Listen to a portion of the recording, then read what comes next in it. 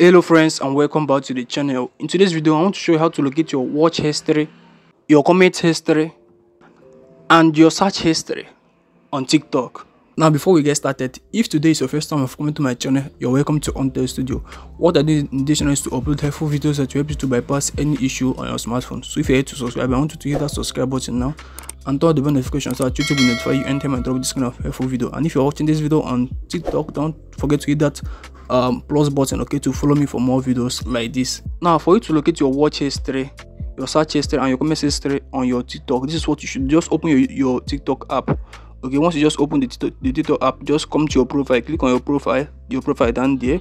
Okay once you just click on your profile just come over to this place look at this uh interest line there just click on it. So once you just click on it the next you want to do is to click on this settings and privacy. Just tap on settings and privacy.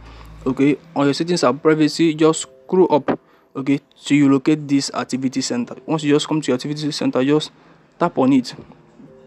Okay once you just tap on it just wait for it to load. Now from here you can see your watches if you just click on here okay you can now locate your watches all the videos that you have watched okay on your tiktok. You can locate all of them here okay. On this side you can see the comment history here. This is the comment history your comments and all of that.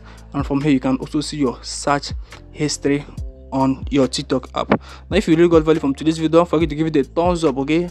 And hit the subscribe button if you're here to, to subscribe to my channel. And if you're watching this video on, on TikTok, don't forget to hit that follow button to follow me for more videos like this. Thanks for watching to the end, guys. And I will see you on my next video.